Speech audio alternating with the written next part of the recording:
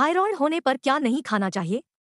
Expert से जाने, आजकल खराब लाइफस्टाइल और खानपान के चलते थायराइड होना एक आम समस्या हो गई है। अगर इस पर सही तरीके से ध्यान न दिया जाए तो यह समस्या ज़्यादा बढ़ सकती है।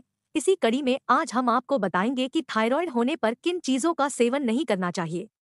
पत्ता या फूल गोभी न खाएँ। अगर आप थायराइड के मरीज़ हैं तो फूल गोभी और पत्ता गोभी खाने से परहेज करना चाहिए। इनका सेवन करने से आपकी समस्या ज़्यादा बढ़ सकती है। क्यों न खाएँ गोभी? एक्सपर्ट के मुताबिक, इन दोनों तरह की गोभी में गॉयट्रोगन नामक तत्व बहुत अधिक मात्रा में मौजूद होता है।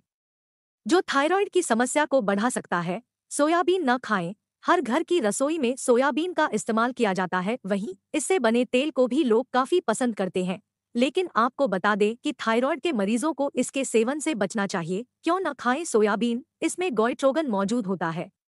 जो थायराइड की समस्या को बढ़ाने के लिए जिम्मेदार होता है, सोयाबीन खाने से शरीर में थायरोक्सिन कम या बढ़ सकता है, बढ़ सकता है थायराइड, थायरोक्सिन के शरीर में बढ़ने या घटने से थायराइड की समस्या बढ़ सकती है, जो आपके लिए नुकसानदायक साबित हो सकता है, ऐसे में थायराइड होने पर सोयाबीन खाने से बचना चाहिए।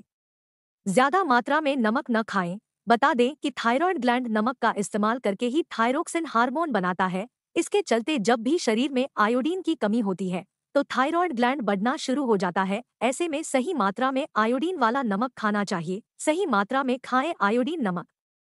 अगर आप सीमित मात्रा में आयोडीन नमक का सेवन करते हैं तो इससे थायराइड से बचा जा सकता है। साथ ही शरीर को स्वस्थ रखने के लिए भी आयोडीन नमक का चुनाव करना चाहिए। थायराइड होने पर इन बातों का विशेष ख्याल रखना चाहिए।